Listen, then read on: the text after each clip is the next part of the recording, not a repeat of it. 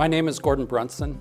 I'm a senior distinguished engineer at Avaya. My name is Mehmet Balasaygun. I'm a distinguished engineer in Avaya.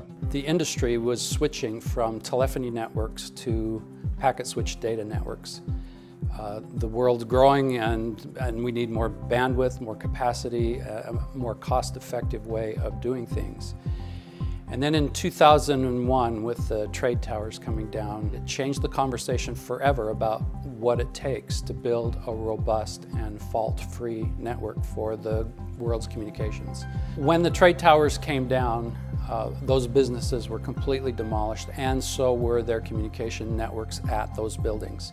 We quickly repaired them using circuit switch technology, but that's a labor intensive activity and it took a little bit of time to get them to get those companies back up and running with different personnel uh, in a nearby location.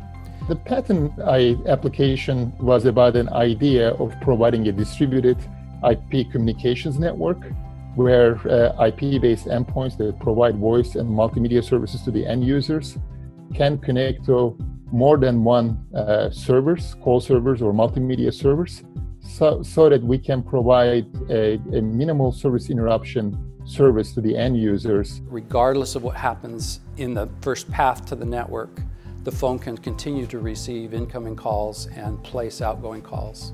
Prior to this patent, the way that was predominantly used was to wait for a failure and then react. And this creates a gap in service and an unsatisfactory experience. So for instance, if my normal preferred connectivity to a US, you know, Northeastern regional data center in the Northeast, um, and if there is a problem in the data center, let's say a power outage, I can get my incoming calls over an alternate data center, say in the Midwest or Western United States, without really experiencing a downtime as an end user. The Avaya phones use these advanced techniques to provide fault-free collaboration, uh, but we still host our competitors' phones and uh, third-party phones, and they do what they've always done, and they do it the best they can, and, and the algorithm on the network side works for them as well um, just works with ours a little better. Thomas Edison has been a one of the greatest inventors, uh, you know, in the world for you know for generations, and you know he has done inventions and prototypes and productizations in so many different fields. It's a, so many different fields. It's a great honor for me to accept an award bearing his name. When I was in fourth grade, I was assigned uh, an essay, My Favorite American and How He Served His Country. My first essay that I remember, and it was about Thomas Edison.